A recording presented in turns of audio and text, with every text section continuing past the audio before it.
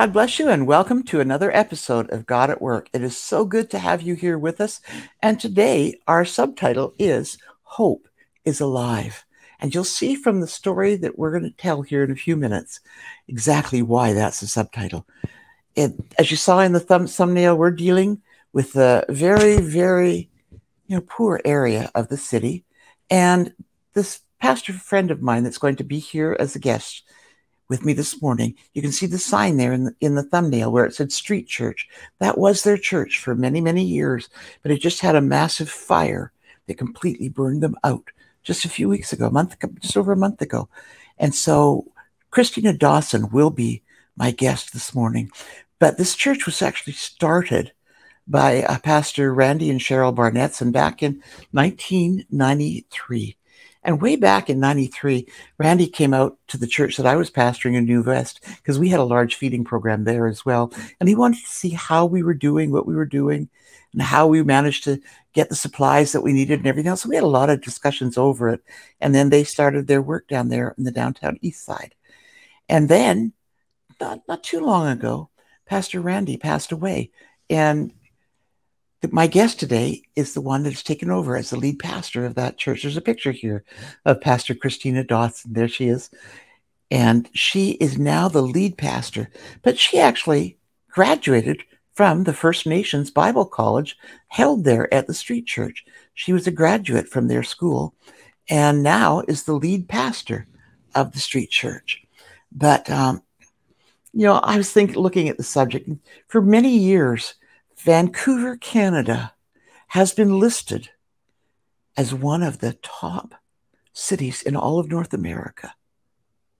The most, well, in North America, it's listed as the top most desirable place to live. It's listed in the top five in the world. But people don't realize that there's a whole other world there needing help. And that's exactly what Christina and her team are doing. But we're going to open with a song here that Jerry wrote. It's called Come to the Table of Grace.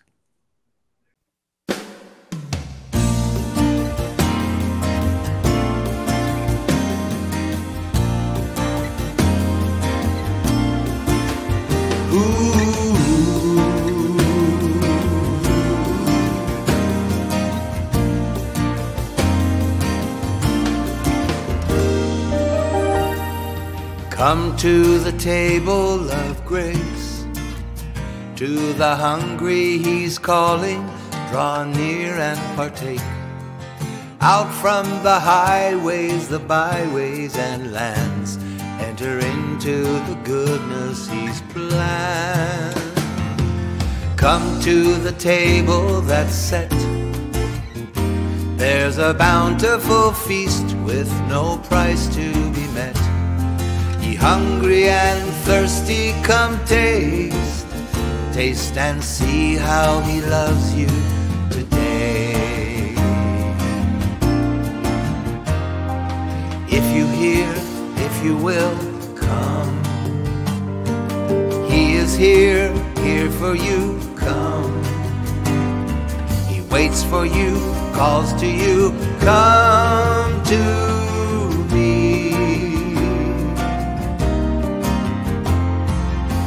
The way, He is truth come. He's the life you need today come. He's the start of all you'll need. Come and see. Come to the table that's set. To the hungry he's calling. Draw near and partake. Out from the highways, the byways and lands, enter into the goodness He's planned. Won't you come to the table that's set? There's a bountiful feast with no price to ye met.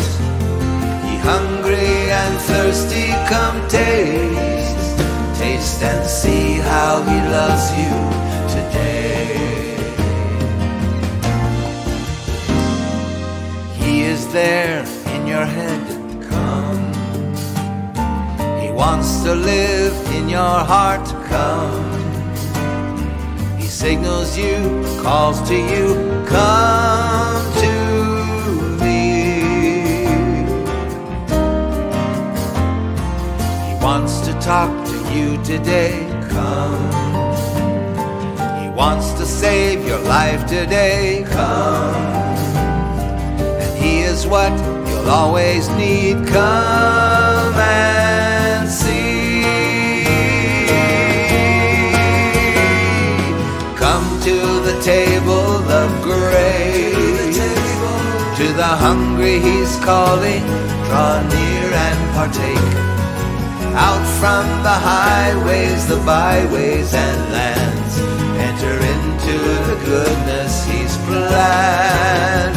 Won't you come to the table that's set? Unto the table? There's a bountiful feast with no price to be met. Hungry and thirsty, come taste. Taste and see how he loves you today. Come to the table of grace. To the hungry he's calling, draw near and partake. Out from the highways, the byways and lands, enter into the goodness he's planned. Won't you come to the table that's set? There's a bountiful feast with no price to be met. Ye hungry and thirsty, come taste. Taste and see how he loves you today. All ye hungry and thirsty, come taste. Taste and see how he loves you today.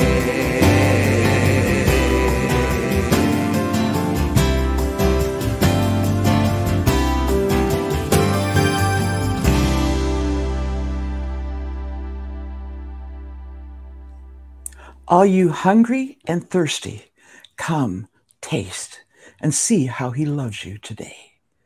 You know, and that's really what Christina and their ministry are, are doing down on the downtown east side of Vancouver.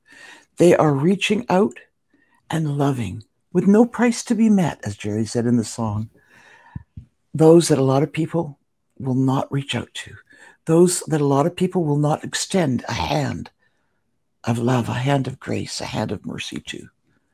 But you know, it's the heart of God. In, in the book of Matthew, chapter 25, verse 40, it says, And the king will say, I tell you the truth.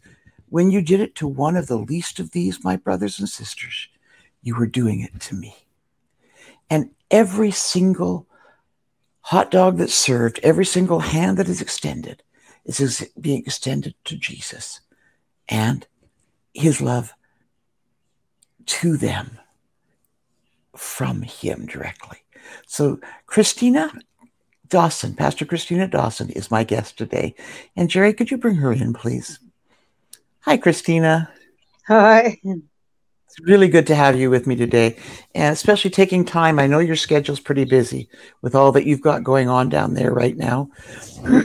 but I just want you to have a little bit of a chance to tell as we carry on in this program what's been happening and what your needs are right now.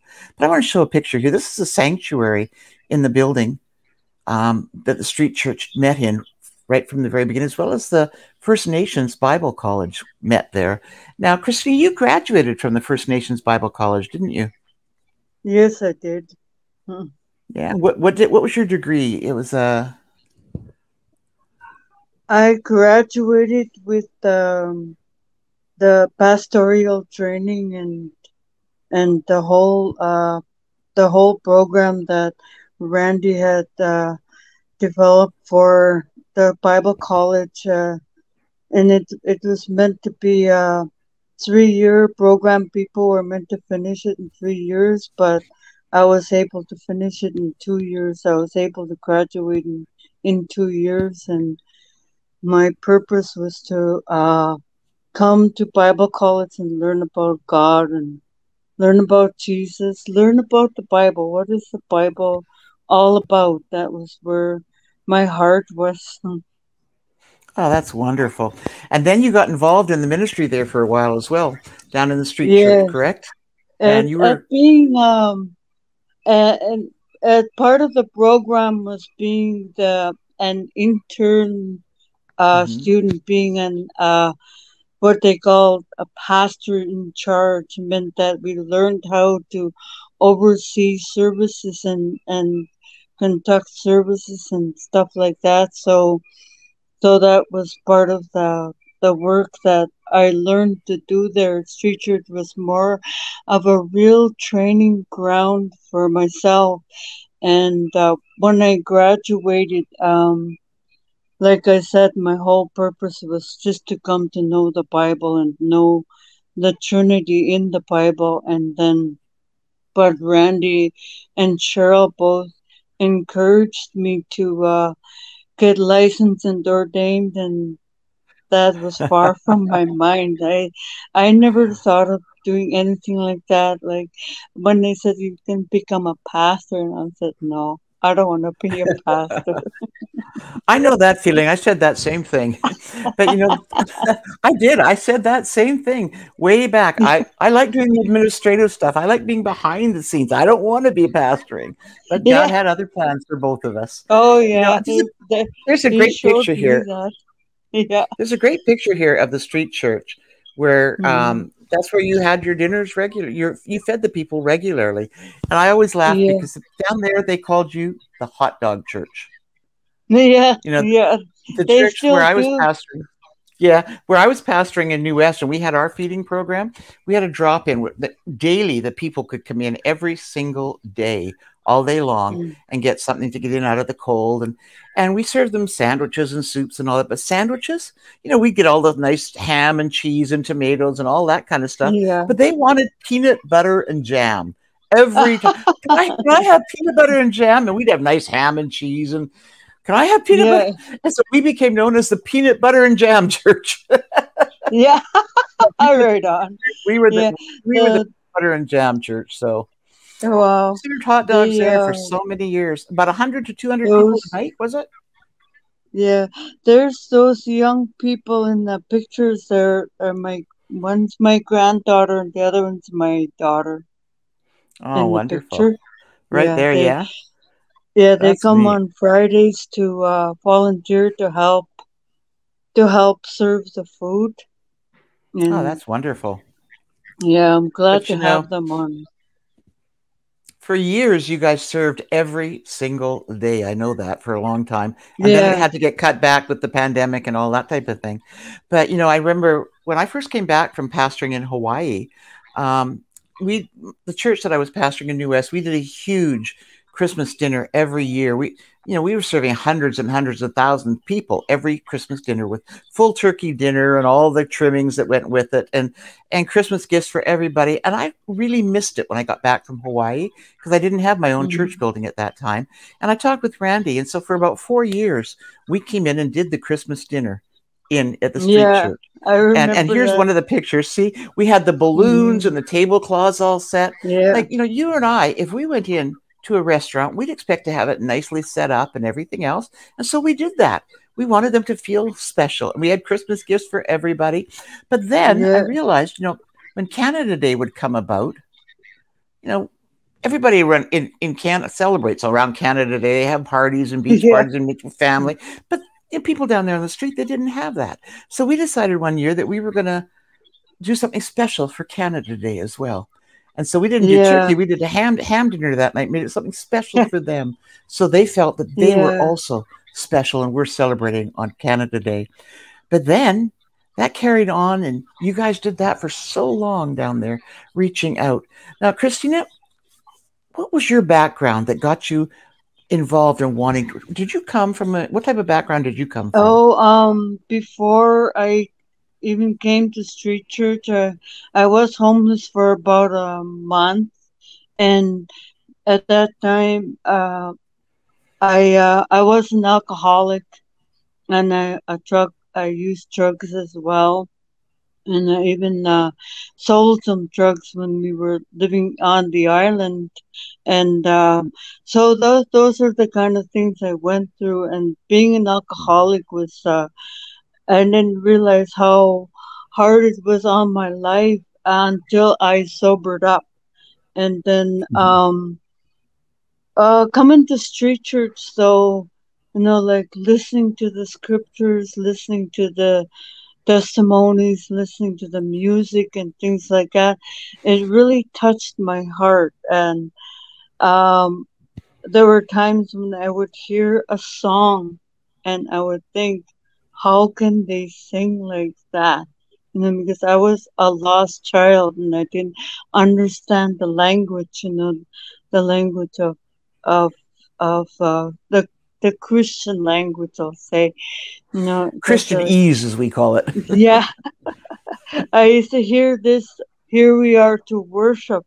Here we are to bow down, and that really touched my heart. And I have a funny story about Pastor Randy. When I Uh-huh. first met Pastor Randy, well, I didn't meet him yet, but I seen him up on the platform there singing praise and worship songs, and he had really long hair. He had long hair, and I saw him singing there, and I'm thinking, what the heck is this hippie trying to prove? and I find that out sounds like later Randy. that he's the pastor. but you know, that sounds like that's where Randy. my that was my mindset, right? That as a a lost soul, you know. But uh, being in there, you know, like what got me there was because I was hungry.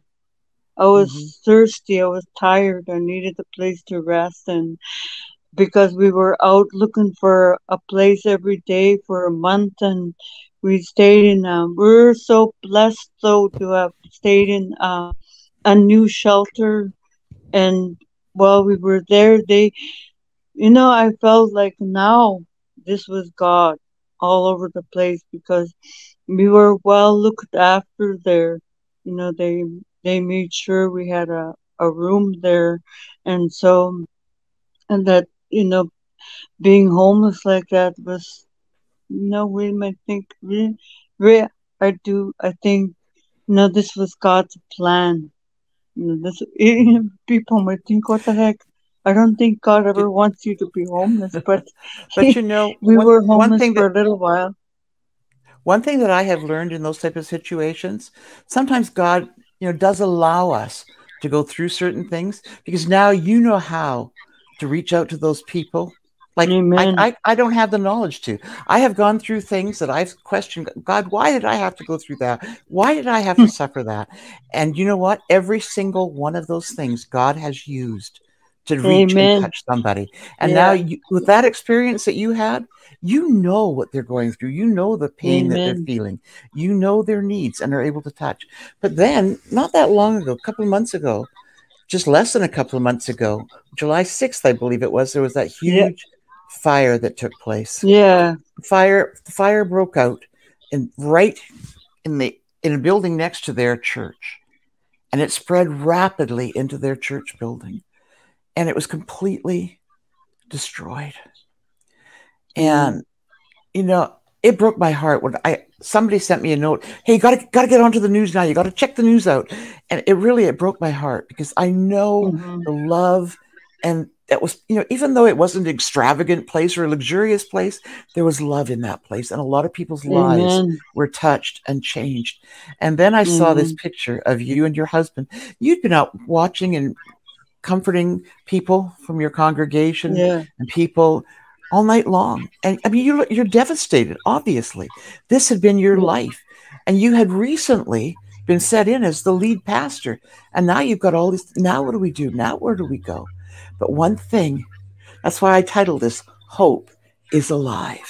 Because in spite of all that had gone on in spite of that fire hope is alive and you you are an example to that christina you know like this next picture that jerry had up a second ago i love it i love your smile in here you know you're over at another church's building getting ready to prepare hot dogs because you Yeah. still were wanting to serve your people you didn't have your own place to prepare it but this other church allowed you to prepare in their building Yeah. a couple of times a week. And so you were still able to prepare and show these people that we might be out of a building, but we still have hope. There's still Yeah. hope for you. There's still Yeah, hope for you. Just mm-hmm. because the building's gone doesn't mean that the love is gone, doesn't mean that our care and concern for you is gone. But what it does mean Amen. is that hope is alive. Yeah. And here they are preparing the hot dogs in that other building. Just like you saw them preparing hot dogs over in their own building, here they are preparing them here. But they didn't have a building to serve it in. So where are they? Out here on the street, serving the hot dogs. Now, Christina, that's out in front of where your building was, isn't it? Yes. In the in that in that area, general area. Yeah, Yeah, yeah, the right in front. dogs. And we so used the to call it the knew. front door service before. When, when we're in Yeah. the pandemic, I uh, Right. spoke with Pastor Randy about that. I said, you know, we weren't allowed to bring people in the building. So I said, we might as well go out into the street and and ha- uh, serve up some food out there. And he thought about it and he said, yes, let's go do that. So we call That's it the wonderful. front door service or some food on the But street. the, what the people see in you doing this, Christina, is that it wasn't just a job that you were doing. It was, but it was your heart to make sure that their needs were met, and they see that love that you're pouring out to them. In spite of all the difficulties, in spite of all the obstacles, they see how much you are pouring out that love to them. And then I was looking at the tents across the street, right in behind you there yeah, and um, that I, I I was reading something just a couple of days ago actually on what's going on with that and I mean, I mean the city was wanting to remove it for fire reasons and that's understandable you know but then somebody somebody and I don't think they know who yet was passing out flyers that they were going to pour gasoline on the tents and set the tents on fire and all the people's belongings and anybody that was Mhm. there was going to be caught to me, you know, they're saying, "Oh, it's because these people. It's it's an embarrassment to our town. It's an embarrassment to our city." I'm I'm sorry, but for me, these people handing out those flyers and saying such evil things that somebody, when they're already down and out with nothing, yeah. and they're going to set them on fire and set their things, that is cruel, absolute cruelty. is that is evil. And you know, as far as I, I'm concerned, you know, they say that these people are an embarrassment. These people are trying to live their lives the best that they can, and it's more of an Mhm. embarrassment what these other guys are doing than what's happening Yeah. down there on the street. It really is. Yeah. It's, it's truly a shame. But then there was this legal notice that was given that your building would no longer be occupable, occupiable. It could no longer be used. And that is Yes, so uh, sad, you know, because I, I know there was always a hope deep down in some of the people that, well, maybe we'll be able to get it fixed up and get back in there again. But that made it Yeah. clear you're not getting back in here. And No. so here, here you are set up outside of the building. You can't get by that fence. I hope you're going to get that street church sign down. I love that sign. oh Wherever yeah, you go, that that sign's got to go with you. That Yeah, sign's got to go with taking you. That's history. We're putting it on is a new building. That's right. And um, but you know, Christina, now what is it you're looking for in a new facility? What is the need that you have? Go ahead. Well, we're we're in search of uh we're hoping to get a, a ground level uh place for for to to hold our church services again and um yeah we want uh, a little bit not too not right in in that immediate area right now because there's it's it's way too crowded for us and so we're trying to get maybe uh just a little bit out not not too far away you know we, but that's what we're Mhm. praying for we're praying for the place to be uh ground level and and things like that because we Well, noticed ground level most, is yeah because quite ground level is quite important because a lot of people aren't able to do those stairs that yeah easily. they yeah they have walkers and wheelchairs and, and there's a lot of walkers and wheelchairs coming up when we first started serving again like we weren't really we had no idea what we were going to do or how we were going to do things but Salvation Army came beside us and they said, "Come on, we'll help you get back on your feet again." Like it's like standing us up and helping us to walk again because we didn't miss any service after that. They we done then the following Friday and Sunday right after the fire because the fire was on on a Wednesday night when I did what is now the last service at 175 East Hastings Street Street Church and that really was our last service there so and the fire broke out that evening and uh, you know it was pretty it was pretty shocking like when we first heard about it. We just got settled in at home after being at the street church all evening. And then i got this phone call from this woman and she sounded so hysterical. She was screaming into the phone saying the street church is on fire and i said what are you saying and she said your church is on fire and I, I, I, couldn't believe what she was saying to me. And she said, I said, You're telling me that street church is on fire? And she said, Yes, your church is on fire. And so when I heard those words, I just, I said, Just hold on, we're coming down. And we ran all the way down, right from Jackson Street to Main Street. We ran all the way down there and we were met by the police at the corner there where they already had it cordoned off. And I told the police, I said, I am the lead pastor here at Street Church and I want to know what's going on. And he told me then that the fire had started in the back alley behind, right behind our door, between the door and the store before, below us. So that's, that's what happened. And, and that was about about nine o'clock in the evening because we just got home after eight and we had let everyone out. We made sure, like that was my my practice every every church night. I would make sure everybody left the church, and I would make sure I would do a safety check, make sure all switches were turned off, make sure all doors and windows were locked.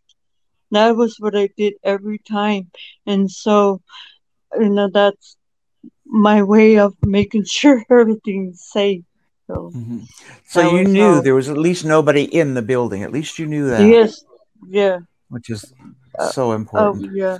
But so you need to find a building, one on the main floor, you know, the ground level is important. I mean, I I watched Randy, you know, in the last couple of years going up and down those stairs. I mean, it was it was torture for him. And I was thinking the other night, you know, thank you know, maybe it's God's grace that you know he did go when he did. He he slept in that room.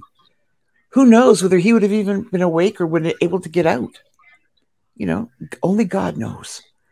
Uh, sometimes we don't understand God's timing, but He does. So I know that you need a place on the ground level, if at all possible, and you need a place with a good kitchen to carry on your feeding. Those are two things that are really important. And I, I want to challenge any of you that are listening if you know of a place, if you have a friend that might have connections that could have a place that could serve Christina and the work that they're doing, Christina, I'm going to get you to send me right after the program the best way for people to contact you, your phone number, your email address, so they can get mm-hmm. in touch mm-hmm. with you directly if they have some way of, of being able to help out. Okay. But I need to put that into the direction, into the description okay. of the program. So I need you to send that to me right away. And in All the right. meantime, if you have something that you can help them with, please get in touch. You can get in touch with me and I can get in touch with you if you can't get in touch with Christina directly. Oh, yeah. It is so uh-huh. important. It is so important that they get Amen. a place. The work that they're doing is vital in that downtown area. Amen. I mean, yeah, I walked down there a few times and I talked to some of the people, and they all, every single person I talked to, said how much they loved and appreciated Street Church, how much it meant to them, how much the work that they were doing meant to them. And they said, one, one guy, he was so funny. He said, I know I'm not easy to work with, but they're always kind to me. he said, I know I'm not easy to work with, but they're always kind to me. They always love me. They always feed me. They always Yeah. have given me clothes. And so people so appreciate the work that you do.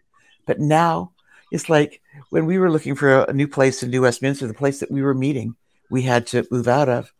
And the, the secular newspaper in the U.S. Put big title homeless or helpers to the homeless, now homeless, could be homeless themselves.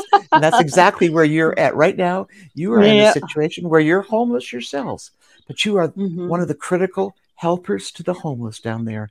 And there's got to be people that can reach out and help you.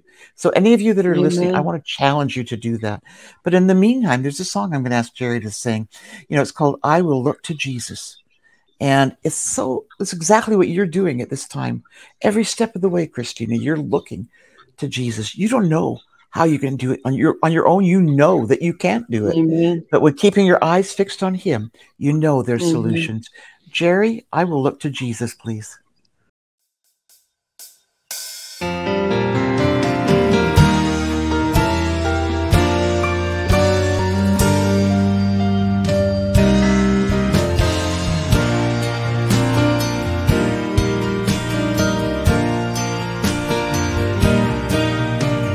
Whichever way the world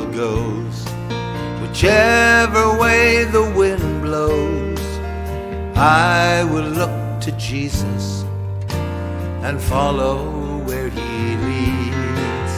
Though storms may rage around me and wars compass surround me, I will look to Jesus and follow where he leads.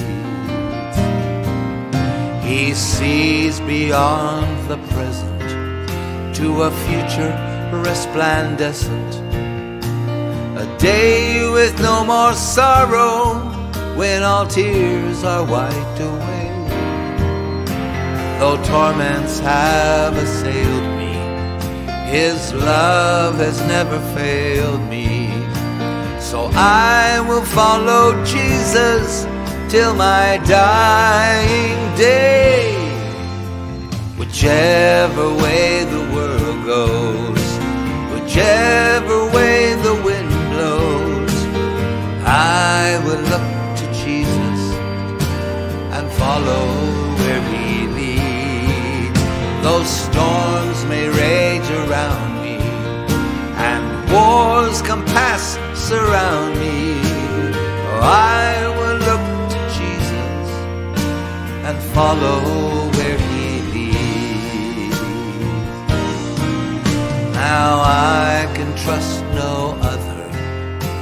no sister and no brother, my father or my mother, unless they follow him, much less some politician, a preacher or musician, no actor or physician, unless they follow him.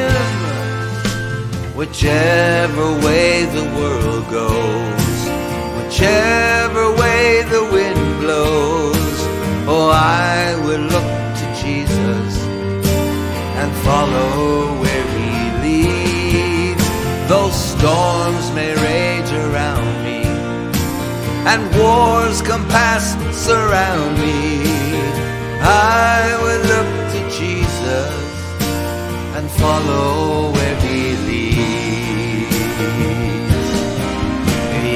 I will look to Jesus and follow where he leads.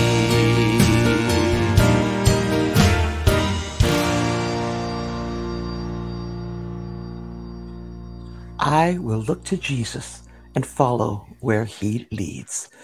And, you know, like just like that song says, those storms may rage around me. And that's exactly the stormy condition that Christina and her team are living in right now. But they know the only solution is to keep their eyes fixed on Him because He alone holds the key to their circumstance, to their situation. Christina, come on back in for a sec. Jerry I'll bring you in. so it's been really nice having you with us today and explaining the needs down there in your heart for those people. You know, that's one thing that I see every time I've talked with you or seen you is your heart for the people down there. And you know, that's what's critical.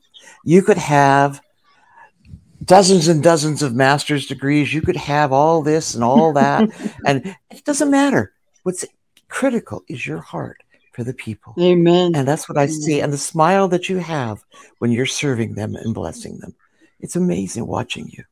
I love it. but anyways, you know, it's funny just before your building, shortly before your building burned down, when I was first trying to get a hold of you and couldn't couldn't find you, couldn't get a hold oh. of you anyways. I was wanting to talk to you about maybe because you know, I've had 3 years that I've been pretty much out of commission the last Christmas dinner, Jerry had to go by himself because I had been admitted into the hospital a few days earlier. And I spent almost six months in the hospital. And it's just been less than a month that I have been out of a wheelchair. So I am no longer using the wheelchair and I'm walking with just a cane and all that. So I'm thinking, I'm getting ready. I need to get back in there and do another Christmas dinner. So let's find yeah. out where the new building's going to be so we can do it again. But it's been oh, wonderful oh, yeah. having you with us. And I, I really do pray that people's hearts will be touched to see that need, not only to see the need that you have now, but to see the extent of the work that you've been doing down there Amen. and people's lives that have been touched. So let's just pray before you go. Thank you, Lord. Heavenly Father, I thank you so much for Pastor Christina and the work that she's doing down there, the heart that she has, Lord, for the people, the love that you've given her. And Lord, I thank you even for some of the experiences she's had in her life that have helped her reach out and touch these people with so much love. And Lord, I thank you that there are a group of people working with her down there and some of the other ministries, Lord, that have hearts and loves to reach out where no one else wants to reach out, to touch lives that no one else wants to touch. And so, Father, I ask that right now you see this deep need that they have. You see the request, Lord, for a, a, a new facility, Father, preferably on the ground floor. Not because Amen. that's what they want, but because that's what's needed for so many of the people that are either in wheelchairs or walkers. I remember one of the services that we did down there, I watched one of the volunteers from the street church carry a lady up the stairs because she couldn't get up herself. And their heart, Father, just to meet the needs. But a ground floor would be so much more conducive Amen. to what they're doing. And Lord, and they need a good kitchen, a kitchen that will be able to do what they need in a far easier manner. A kitchen that will have no problem passing the health regulations and it will be fit exactly for what you would have them do. Amen. So, Father, I ask that you will speak to people right now, people who either have a means that they can help with the facility, know someone that does and can pass it on, or however that they can help out in that area, Lord. That you will speak to their hearts now to spread the word, to get the word out of this vital need in our downtown East Side, Father. An mm-hmm. area that has been neglected by so many, an area that has been pushed aside by so many. And Father, I pray for protection right now on each and every person down in those streets. Lord, with those threats that are going out that they're going to set fire, Father, Amen. I come against the, that lie right yes. now. And Father, Amen. I ask for your protection for those people. And Lord, that as much as those ones handing out the flyers say that these ones are an embarrassment to the city, Father, may they see the reality that, that the way their hearts are hardened at this moment and the way that they are acting is more of an embarrassment to this city, an offense against you, Lord, than anything any one of those people on the street is doing. So, Father, place your hands upon each and every one of them now and protect them, Lord. And Lord, I ask that you will give Christina and her team wisdom as to the steps that they should take, steps they need to take to see your will accomplished in them and through them in your precious name. Amen. Praise Amen. Well, thank you, Christine, for being with. It's been wonderful having you. And hopefully we'll get to have coffee sometime soon. yeah, for sure. I've I've nice just started driving. I've just started driving again within the last month because for three uh, over three years I was you know in the hospital and not allowed to drive or in a wheelchair, so I couldn't and all this. But now I've just oh. started driving again, so we'll get together for coffee sometime. Anyways, sure.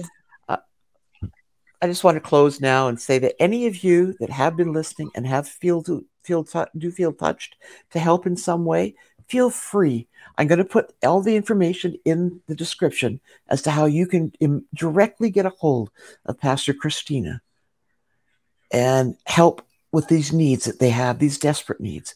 And I've been down there, as I said, as you saw, been down there as many times as I could. I taught a course at their Bible college because I love it. I love the, seeing the hunger in each and every one of them, and the hunger for more of, of the Lord. But that is what they're learning as an example, as for Christina, when she was going to the Bible college, she said she had a hunger for the word, to learn the word, to know the Lord more. And that's what a lot of these people have. They just don't know how to go about it or how to do it. But Christina and her team, as well as other ministries down there, are reaching out in ways that no one else can, no one else does. So if you would like to sow into this ministry so we can carry on doing this type of thing, please feel free to do so. And Jerry will put the details up on the screen. And if you want to help Christine out, she's going to give you the de- I'll give you her details in the description so you can get a hold of her. But in the meantime, God bless you, and we'll see you next week.